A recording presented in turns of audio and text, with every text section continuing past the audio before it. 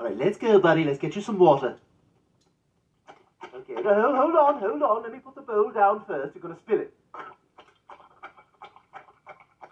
Whoa, whoa, whoa. Slow down, slow down.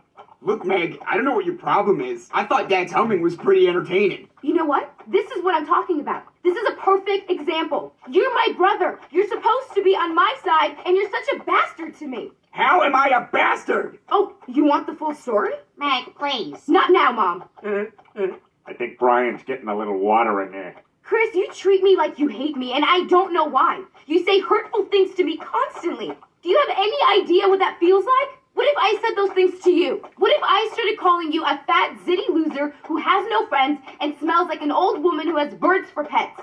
Still drinking. Is it too much to ask to be treated with a little decency from my brother? Maybe show me some kind of kindness by not jumping on the Let's Get Meg family bandwagon?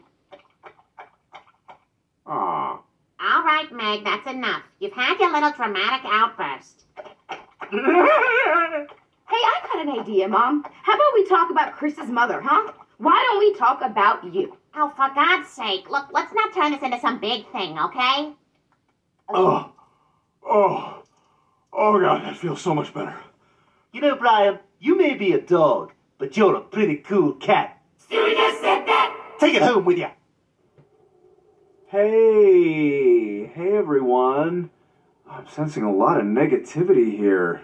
What's going on? Yes, you're right, Brian, there is. Meg seems to think she's taken some kind of stand here that's gonna make us all feel like we're inadequate. My God, you're condescending.